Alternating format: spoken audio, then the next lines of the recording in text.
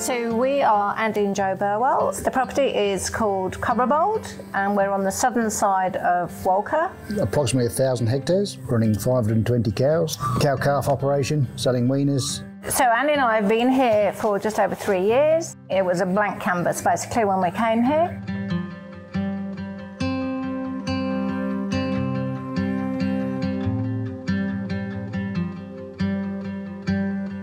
It was Landcare that first advertised the, the project, and Andy said, Oh, this looks interesting. And you made a phone call to the Landcare representative. She enlightened you, didn't she, on what it was all about, who was involved, who the team were. Instantly, you were interested. So we've realised that the project is Deepwater to Walcha, which is a huge area. And there have been open days, field days or whatever within that group that if we couldn't go to one, we could go to another. So that's been really valuable that there's been choices. So we didn't miss any of the talks. The skills and techniques we're using now means we measure pasture more accurately, both of us, rather than just mm. one of us guessing.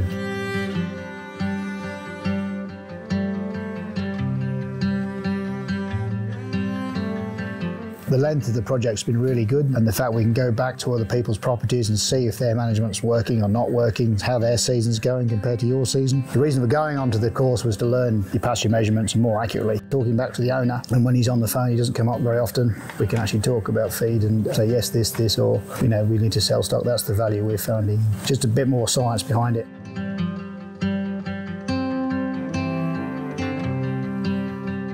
So the aspects of the coaching sessions, it's been great to meet other people within our area and sort of strike up friendships and bash around ideas and that sort of thing. I mean, you've made some valuable contacts, haven't you, really, through meeting other people through the coaching sessions. You realise that you're all in the same boat, really. Talking to other people is good to mental health. You don't see anybody you know, the road, road's there. We don't. It's lonely. To go out and actually spend time talking to other people, different farmers, and it's just some of it's just fun, it's just a laugh, and it's just different to what you did before. And then you can get into the serious stuff you really want to, but it's just that bit of a chuckle.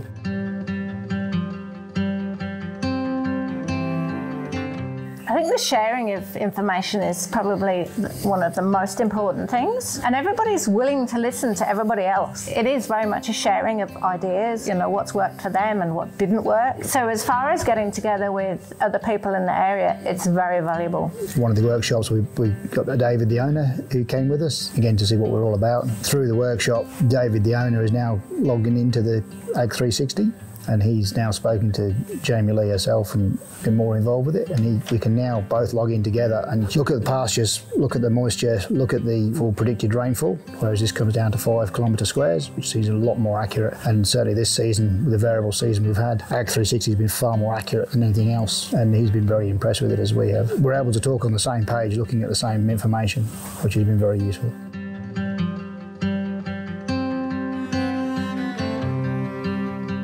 Yes, the Ag360 program itself is very easy to use. Um, it's just a matter of entering your data. Once you get your head around which column to press, it's pretty straightforward. And then to actually look at that, particularly the future forecast and your soil moisture forecast and that side of it's really interesting. Yeah, you look at BOM maps all day long, but this actually gives you six months in advance and it's reasonably accurate. We've found up to date anyway.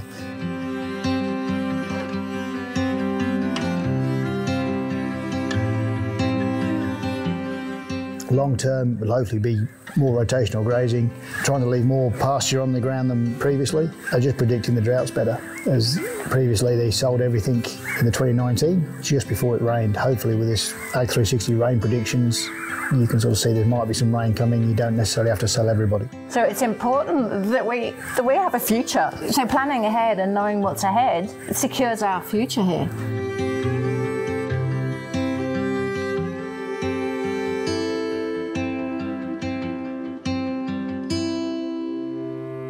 So the opportunities that come along have been amazing through the Future Drought Funding Project. It's an opportunity. Why wouldn't you take it up?